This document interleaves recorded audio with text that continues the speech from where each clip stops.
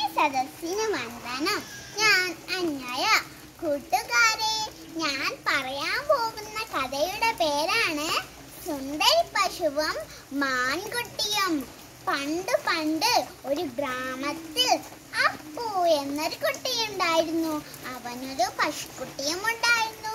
പശുവിന്റെ പേരാണ് സുന്ദരി പശു. എന്നും രാവിലെ അപ്പു സുന്ദരിയെയും കൂട്ടി പുല്ല് മെയ്യാൻ പോകുമായിരുന്നു. ഒരു ദിവസം പുല്ല് മെയ്യുന്നതിനിടെ സുന്ദരി ഒരു മാൻകുട്ടിയെ കണ്ടു. അങ്ങനെ അവർ പല പ്രാവശ്യം കണ്ട് ചങ്ങാതിമാരായി. ഒരു ദിവസം മാൻകുട്ടി ചോദിച്ചു സുന്ദരി സുന്ദരി നീ എന്റെ കൂടെ കാട്ടിലേക്ക് പോരുന്നോ? അവിടെ ധാരാളം പഴങ്ങളും ഭംഗിയുള്ള പൂക്കളും കുറെ കുറെ പുല്ലുകളും ഉണ്ട് നിനക്ക് വേണ്ടുന്നതൊക്കെ ഞാൻ തരാം. അങ്ങനെ മാൻകുട്ടി പല പ്രാവശ്യം പറഞ്ഞത് കേട്ടപ്പോൾ സുന്ദരി മാൻകുട്ടിയോടൊപ്പം കാട്ടിലേക്ക് പോയി. കാട്ടിലെത്തിയപ്പോൾ സുന്ദരി പറഞ്ഞു ഹായ് ഹായ് എന്തു എത്ര നല്ല കാടാണിത് എന്തു രസം. എത്രയെത്ര പഴങ്ങൾ എത്രയെത്ര പൂക്കൾ ഭംഗിയുള്ള പുല്ലുകൾ. അങ്ങനെ അവർ കളിച്ചും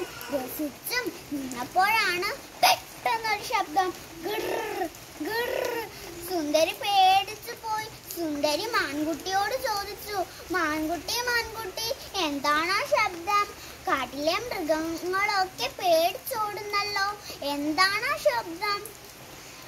മൃഗങ്ങളോടൊപ്പം മാൻകുട്ടിയും ഓടാൻ തുടങ്ങി. മാൻകുട്ടി ഓടുന്നിടയിൽ പറഞ്ഞു സുന്ദരി സുന്ദരി ഓടിക്കോ കാട്ടിലെ രാജാവ് സിംഹം വരുന്നുണ്ട്. സുന്ദരിയും ഓടാൻ പേടിച്ചോടാൻ തുടങ്ങി. ഓടുന്നിടയിൽ സുന്ദരി മാൻകുട്ടിയോട് ചോദിച്ചു മാൻകുട്ടി മാൻകുട്ടി നീ കാടിന്റെ ഭംഗിയെ കുറിച്ച് പറയുമ്പോൾ അപകടങ്ങളെ കുറിച്ചൊന്നും പറഞ്ഞില്ലല്ലോ. അതെന്തേ? സുന്ദരി പറഞ്ഞു ആ എനിക്കൊരു കാര്യം മനസ്സിലായി. പരിചയമില്ലാത്ത കൂട്ടുകാരെ പെട്ടെന്ന് വിശ്വസിക്കരുത്. അതും പറഞ്ഞുകൊണ്ട് സുന്ദരി വീട്ടിലേക്ക് ഓടിപ്പോയി. പാവം അപ്പു കാത്ത് വീട്ടുപടിക്കൽ നിൽക്കുന്നുണ്ട്. സുന്ദരി വന്നപ്പോൾ അപ്പുവിന് സന്തോഷമായി. പിന്നെ ഒരിക്കലും സുന്ദരി കാട്ടിലേക്ക് പോയതേ ഇല്ല. കൂട്ടുകാരെ ഇതിൽ നിന്ന് നാം മനസ്സിലാക്കണം. പരിചയമില്ലാത്ത കൂട്ടുകാരെ പെട്ടെന്ന് വിശ്വസിക്കരുത്. നന്ദി.